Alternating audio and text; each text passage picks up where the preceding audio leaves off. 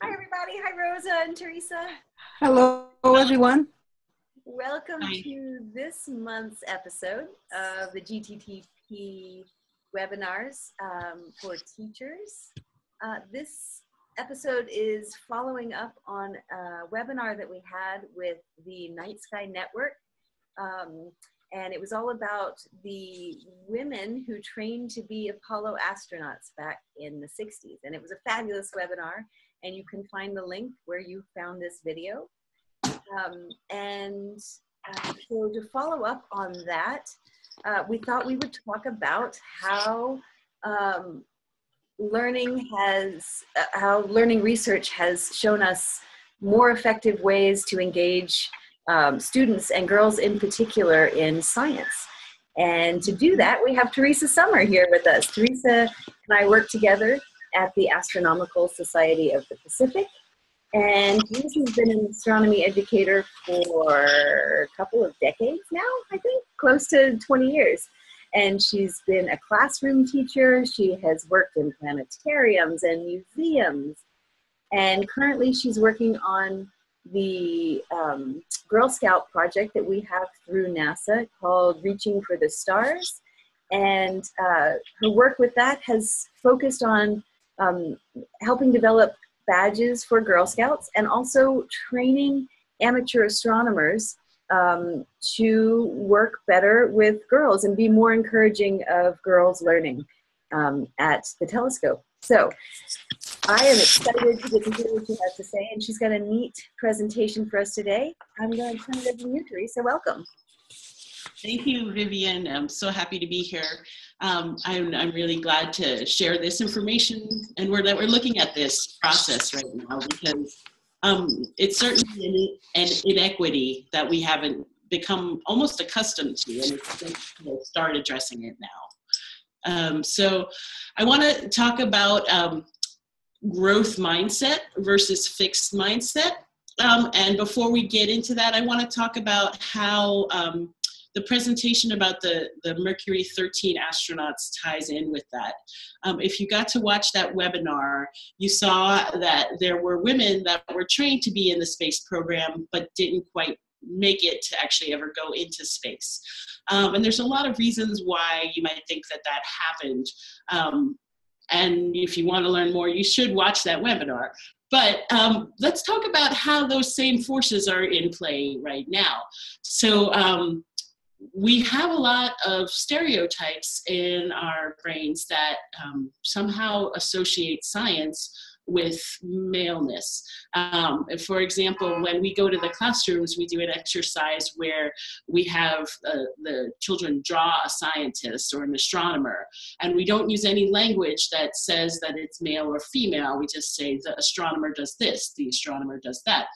Um, and at the and they're supposed to draw the astronomer and so I brought some examples of what they think the astronomer might look like. Um, here's two examples, if you can see this. Here's a person at the telescope, very nice drawing of them holding a rocket.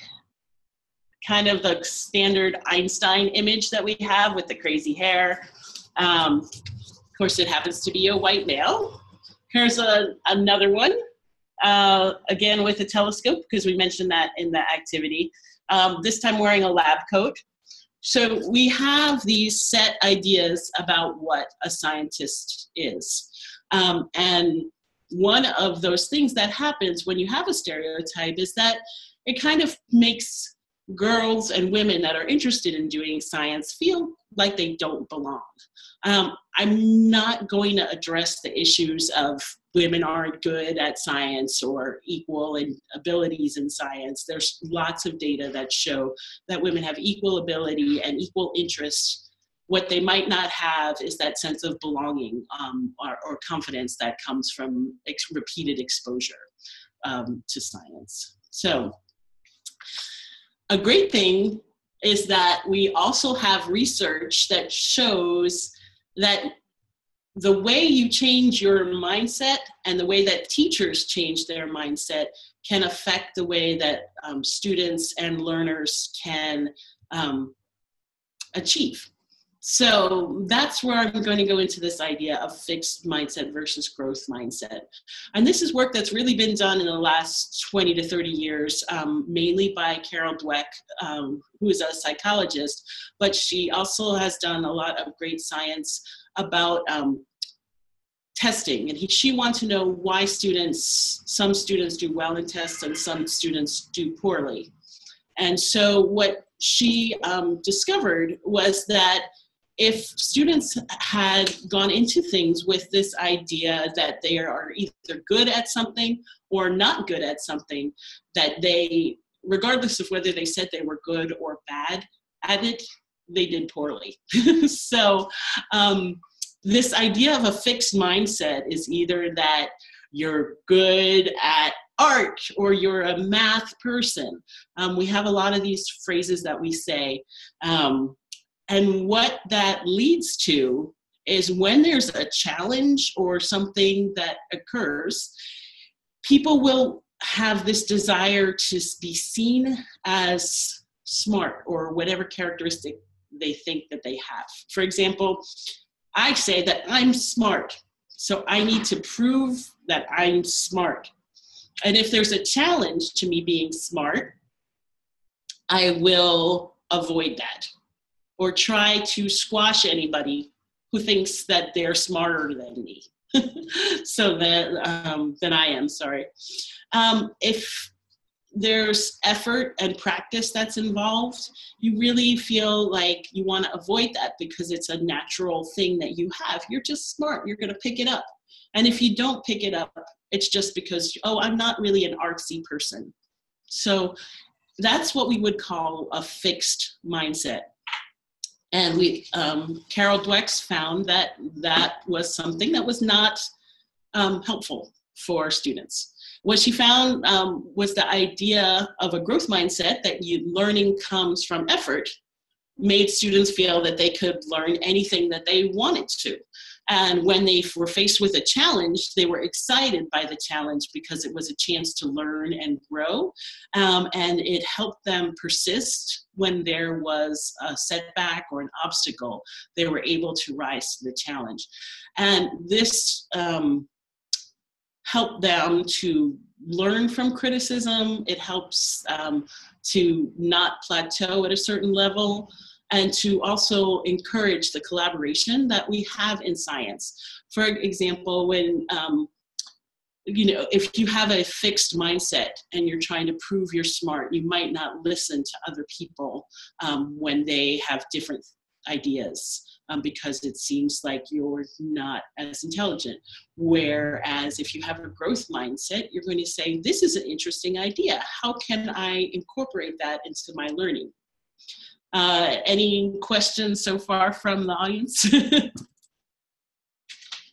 uh, I have just a, comment. I think that is uh, very interesting because uh, this was something that I was hoping that uh, we could uh, discuss in, today, which is the way we at a global level drive the students to interact with us. The teachers the traditional method uh, uh, does not incentivize that. So this is truly important you know because in in in in fact you're shaping the way those people are going to behave in the future and that is truly important.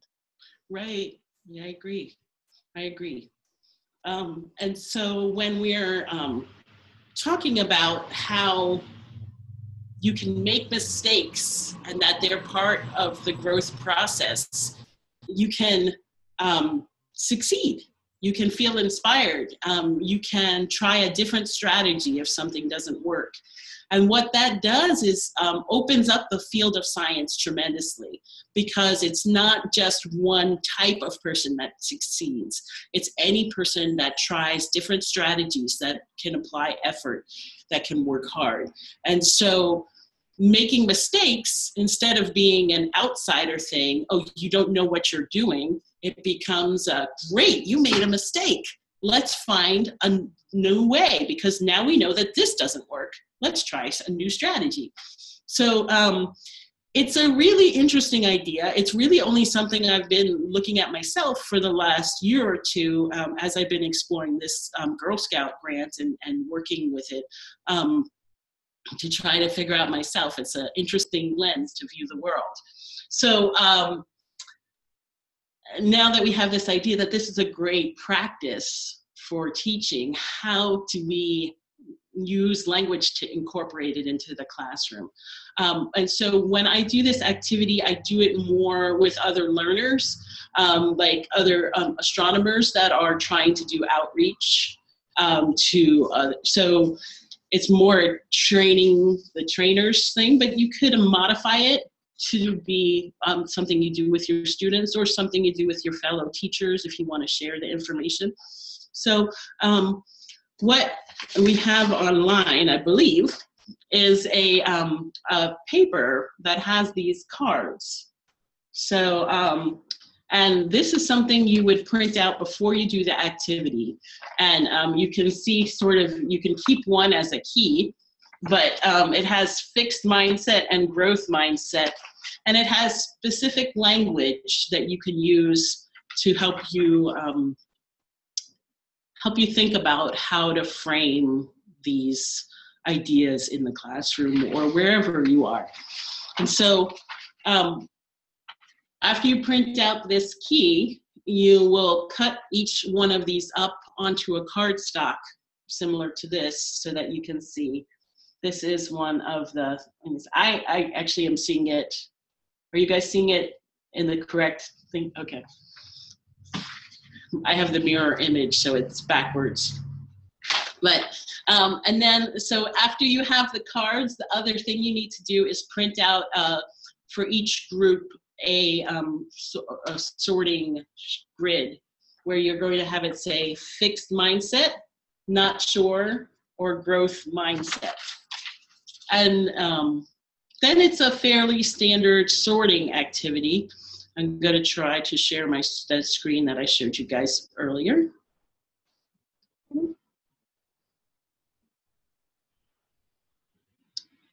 So, can you see the screen? What we have is, like I said on the top, it says fixed mindset, not sure, and growth mindset. And so this one says, would you make up your mind and get this done? Right? So um, that's something you might say to a student who's kind of doing their own thing for a bit, right? Um, and that sort of shows that there's one way to do things. Um, so uh, maybe they're trying different approaches because they're they're stuck with a problem if they're doing things that are outside of the activity they might feel blocked or they might be trying things within the activity that isn't what you're expecting so um, you keep making mistakes could be something that's the in the not sure, right? If you say you keep making mistakes, that's great. That would be in the growth mindset category. But if you say, oh, you keep making mistakes, what's wrong with you? Then it might be in the fixed mindset category. Um, and of course, in the growth mindset section, it also says, I like how you keep trying new ways to get there. Um, so those are some some pieces of sort of how you would sort the activity. Um, and then one other thing I want to share while I have uh, the screen there is this idea that um, what we did with the little bit on the bottom is we had people write in their own um, mindset for their their class or their activity. So we mainly did this activity with amateur astronomers. And so what we had at the bottom of the paper, I, I just noticed at the bottom of the paper there's this space here and I cut it along this thing. So we had two blank pieces of paper at the bottom and I thought, oh, well, they can just write in their own growth mindsets that's related to their field. So um, if you are a math teacher, maybe you want to write something that's encouraging a growth mindset about math. Or maybe you want to put something in about history that you can use directly in the classroom. So this person put, that's a good question. Here are some tips to help you understand the night sky if they were asking something at the telescope. Or um, the other thing that they put in terms of not knowing at the telescope said, oh, well, little girls don't know how to look through the eyepiece. Um, I also wanted to use that as a reminder for myself. Um, to little girls or little kids in general, sometimes can't use an eyepiece because they're not developmentally developmentally there yet. So, and that's okay. Um, having growth mindset is not going to change someone's. Um, uh, if you have um, a learning disability, it's not going to make it disappear. Um, but what it can do is help you use other strategies that work with your disability to help you get through things. Um, I don't want to say that um, that that um, real issues aren't aren't there. As my friend says, no matter what my attitude is, I can't change a uh, stairs into a ramp. so we need to address the, the realities of, of different challenges that are there um, and not ignore those challenges, but also say, okay, this strategy doesn't work, let's try something different. Um, and having that ability will hopefully um, allow for girls and other underserved groups to um, succeed in at least in their own idea of owning their problem solving capabilities. And that will be the first step to being able to say, I can do science, I can solve problems, I can um, take on this challenge. Um, I think I'll stop there and uh, see what you guys Great.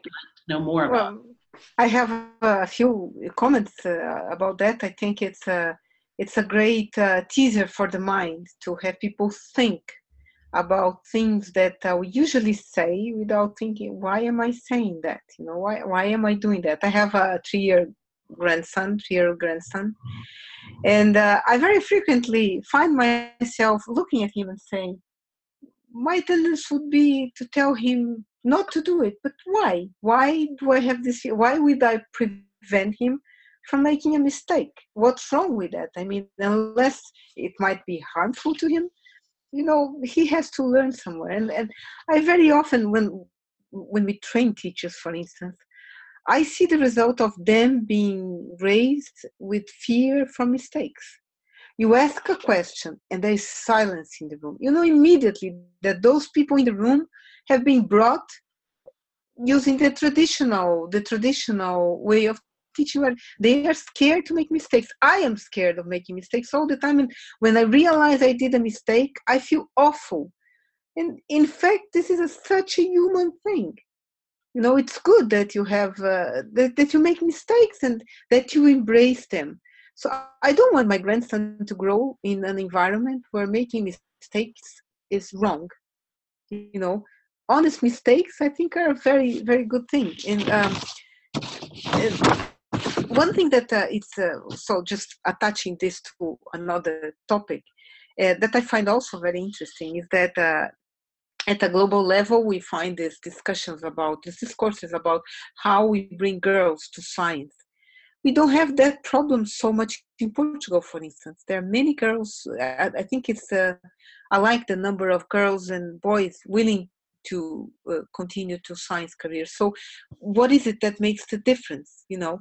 And uh, I, I, see also I, I, visit many countries across the world and um, it it makes me feel horrible when i see in some developing countries for instance that girls wouldn't even think that they might have a chance or possibility or even permission to think about a career in science you know? So what are we doing wrong you know that uh, we should be doing in order to to to embrace those girls? And i adore that activity that you showed where the kids design the scientists according to their views. And uh, i would you know i don't know maybe that's a challenge. We should launch a global challenge where we would invite kids from all over the world to do the drawing and uh, compare the results across the world you know how that comes across? Is that a global thing? Is that related to development or not? It's related to to what? How that comes across? And uh, maybe articulate some actions to to focus on those countries where the stereotype is uh, more intense. Maybe we can ask uh, uh, teachers to do the same drawing. Maybe we would be shocked to see what teachers would do, you know, when drawing what a scientist looks like, you know. I think uh, Vivian, we, yeah, we have to go for this challenge. I've, I've been discussing all the time with Vivian. What should we do next? I think that would be a, an awesome challenge. You know, just we should send us your drawing. You know, International Day of uh, Scientist Drawing, and see what comes out of that. You know. Um, question too on along those lines, Rosa, that um, often in places that have fewer resources, making mistakes is not encouraged because there's no safety net because uh, so in your daily life there is not an encouragement to make mistakes because it can have devastating consequences for mm-hmm. fewer resources and also for women who maybe not won't get an opportunity again to try things precisely so, um, precisely it's i think that encouraging making mistakes in science is a very new challenge for some people because it's a, it can be a safe place to make mistakes and okay mm-hmm. you can try and experiment and and it's okay if this fails and but it, that can look very different from your everyday life that's yeah. true yeah that's true in many want to add that this is is not easy work to change your thinking is is hard and there's going to be certain places where where it's really hard. If you're an expert at something, you have a lot of buy-in to being an expert, right? Mm-hmm. So it's hard to, to be wrong in those places. Um, it's hard to say, oh, there might be something I don't know, or there might be, I might make a mistake about this. Um, mm-hmm. And, and it's not that you're going to all of a sudden be like, oh, this is the great way to do it. So I'm just going to change everything about myself. No. You know, um, no, and uh, the, for teachers, for instance, making a mistake uh, might be horrible because uh, you know the students are going to say, "Oh, my teacher made a mistake," and because this, because of this culture of not making mistakes, of mistakes are wrong, that perpetuates itself. You know, which is a very wrong place to be. I mean, it's okay for a teacher to make a mistake, and if the, the student spot it, oh, super cool.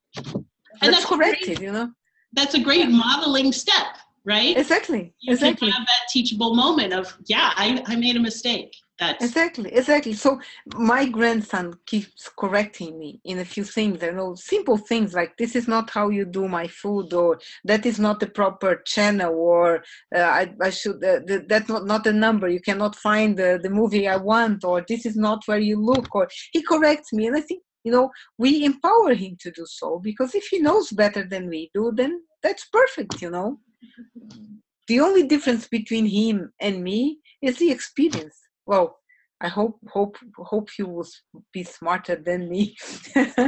yeah, so there is going to be a lot of differences, but uh, you know the experience is what counts, and this is what we are sharing. You know, it's not about I am good, you're not, because I I don't make mistakes and you do. This is a horrible place to be.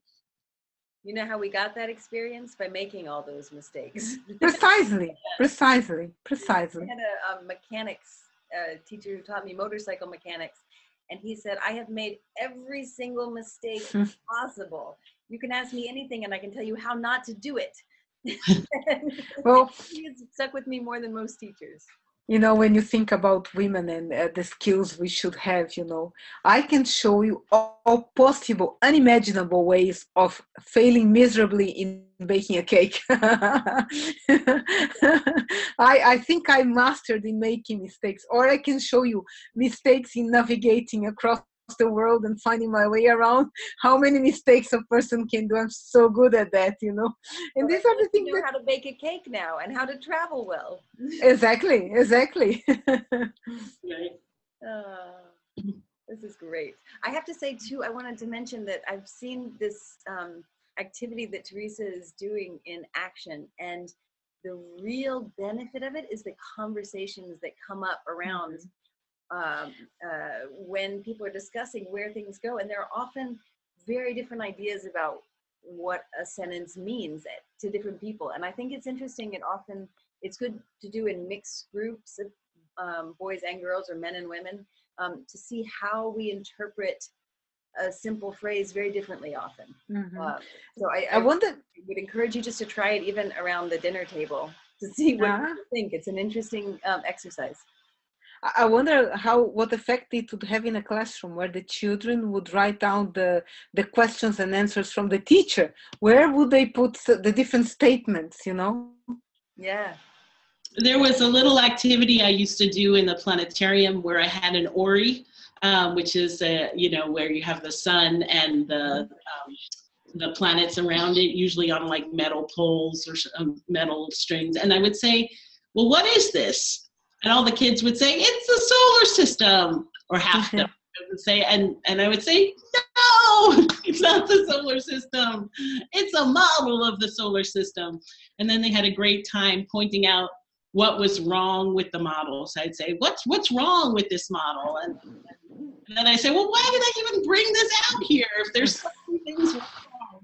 And then they would say well then i would say these are some reasons that are good with models and some things that are not so good about models and we have to look at things with that eye of what what is good about it and what is not mm-hmm. so good about it and and it's part of our science brain right to, mm-hmm. to analyze things um, so hopefully that will help people who might not look at science and say hey maybe i can do different things that i i told i can't Mm-hmm. So, just uh, for information, uh, in the galileoteachers.org uh, website, you, you will find the link for this uh, webinar, and you will also find the link for the materials in English and in uh, Portuguese. And uh, I'm not sure, but I think they might be in editable format, so you can even translate it to your own language. And if not, and you do want to translate it to your own language, that applies to all the webinars that we uh, promoted so far and all the ones coming forward. If you want to translate that to your language, just let us know. Uh, drop us a note, and uh, we will make sure that uh, this is available to you. Thanks, you guys. That was really fun. Thanks, Teresa, for sharing it. Thanks, Teresa. Thanks, Vivian, for promoting this. You guys are amazing, as always. You too, Rosa. Happy spring. Thank you. Same to you. Bye.